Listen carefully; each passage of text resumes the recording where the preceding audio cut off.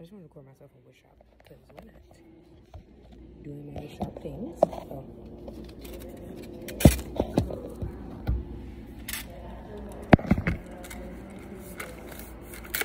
Architecture things.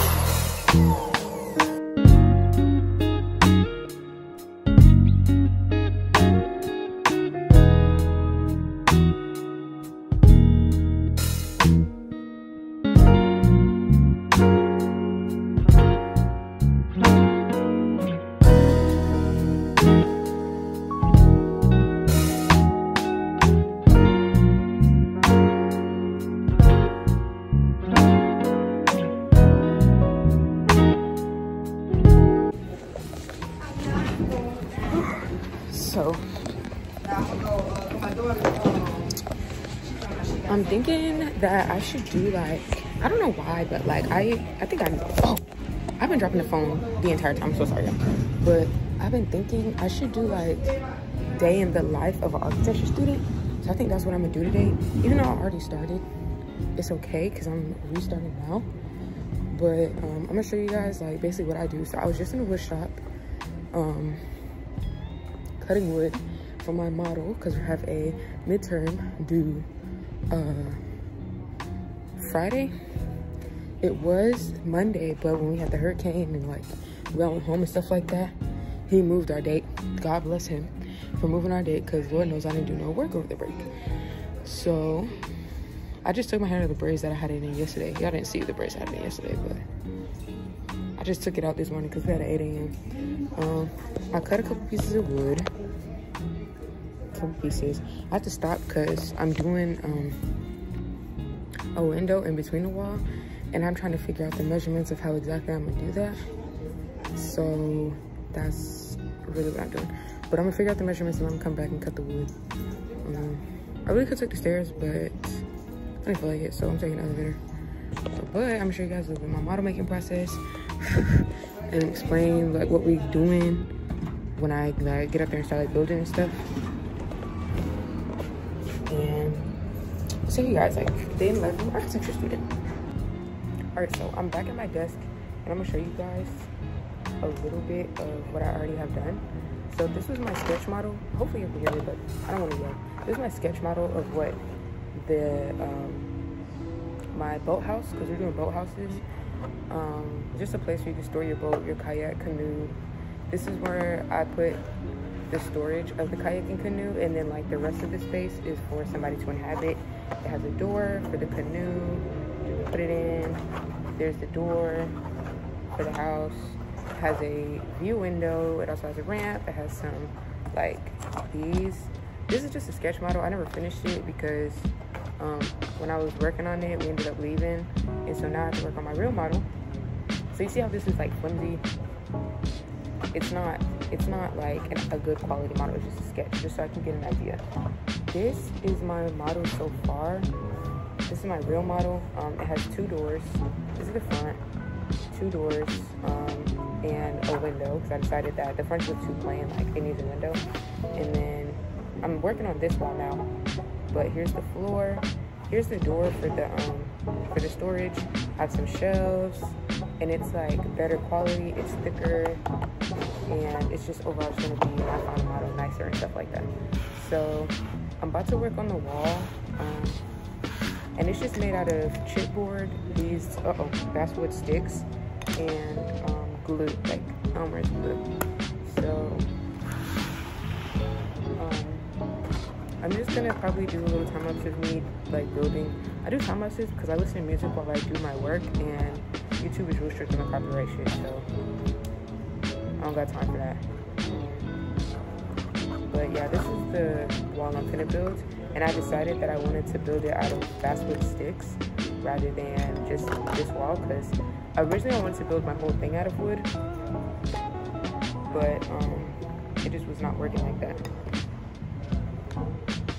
it was the wood was just not yeah that was just not gonna happen so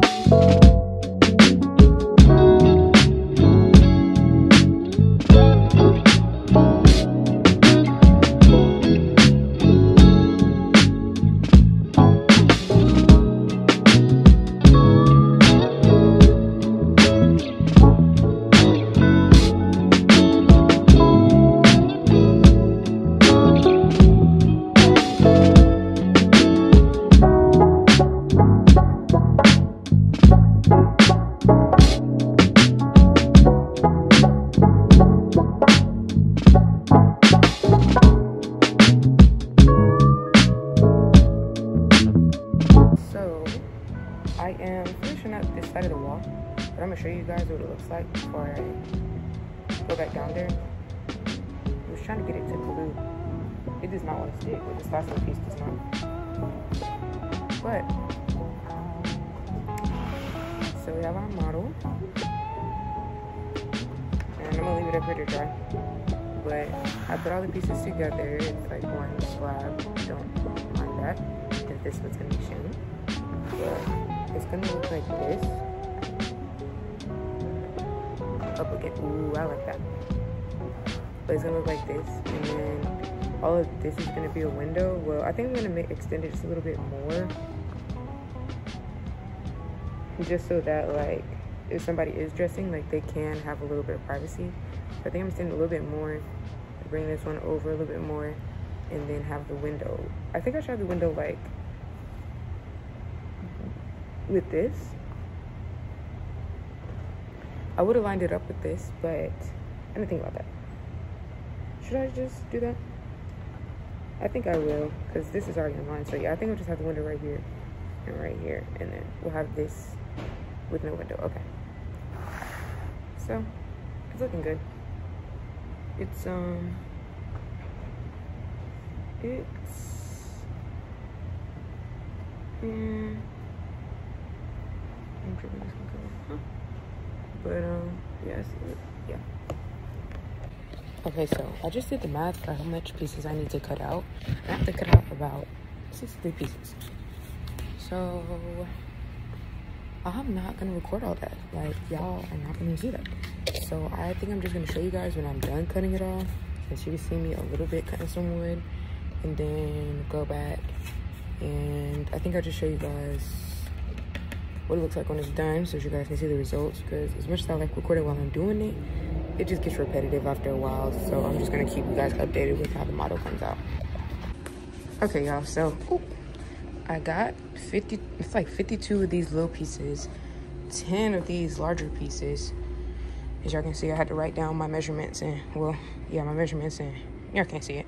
There it goes, my measurements and how many I needed. So I cut an extra one of the small ones just in case.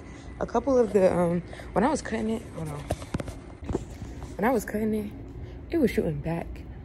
Like, it was shooting all over the room. I cut way more than I needed because I lost them. Like, they just shot and just disappeared. So, I mean, I guess it's okay. I have to clean up the pieces. Oh, goodness. I have to clean up the pieces. Um, because they kind of look a little raggedy right by the blade how they cut them. So I'm gonna smooth them out before I start building it and then I'll show you guys what it looks like afterwards. Okay, so I, um, I, I'll insert pictures of what I have done so far, but I'm thinking I have to come back, which is not what I wanted to do, but it's what I have to do. So I'm gonna come back to um, to finish. I did not finish the model, but I got a good bit of it done. I still have to add the roof, the ramp, and the storage area of um, my canoe which I don't really know how long it's gonna take because I didn't, never really built the roof. So hopefully it doesn't take too long. I'm thinking like maybe another three hours tops of finishing it, um, consistently working. So yeah, now I have to go get a computer so I can do these other architecture assignments for my computer classes. So I actually didn't end up getting a laptop. Um, I realized that I did not have my school card. Um, whoops. So I came back home because I was like, okay, well, it's obviously a sign that I need to go back home and take a break. I've been working since 9. It's 2 12 probably now. Um, I do have other school assignments that I was going to do, so look, it's a pimple growing on my forehead or in between my, my eyebrows. It's because my cycle is coming. I've been cramping. But, excuse me, I ate I'm gonna get a couple more seconds of like chill and then I have to do another assignment for another class. And then after that, I'm gonna go back to the, um, I'm gonna try to get my computer and then go back to the uh, architecture building to finish my model because I really like to finish my model. like that's really my priority. Everything else is just coming with it, but um, yeah, so I just wanna finish get myself done, but I know I needed a break, so I came and took a break. I might take a nap, I'm not completely sure yet. Um, and I still have to go to the gym and stuff, so, um, I mean, worst case, I just finished the model in class tomorrow, which is not gonna be big of a deal, actually. So I'm not gonna stress myself, like, I really am not gonna stress myself, like, what gets done is what gets done. If I don't go back to the model, then at least I worked on it for three hours today, you know? But I'm gonna try to get my other stuff done first before I circle back to that. So, Okay, y'all, it's the next day, and I never went back to architecture building yesterday. Um, I had other stuff to do. I was tired. I was hungry, and it just didn't happen. So now we're going to class. So I'll be able to work in there. Hey, money in the back. Excuse me. She didn't want to say hey, obviously, but we're gonna go to class. and I still have to do the roof. I have to do the bottom, like the storage um, area for the um, canoe, I have to do this, the state, what's it called? This state, the stability thing. I forgot what it's called. And the ramp. So yeah. Hagen's ensemble, living things maintain a dynamic stability, like answers in, in arabesque, continually juggling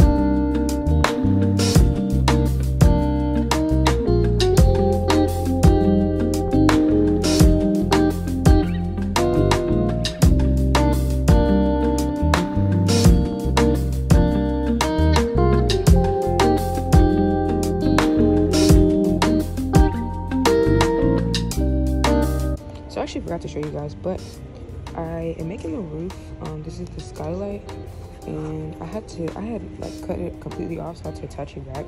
So I was trying to see some, but it's not gonna be flat. It's gonna be a little raised. I'm about to scale it, bend it, so that it's actually um, caved up a little bit, and then I'm gonna show you guys what it looks like.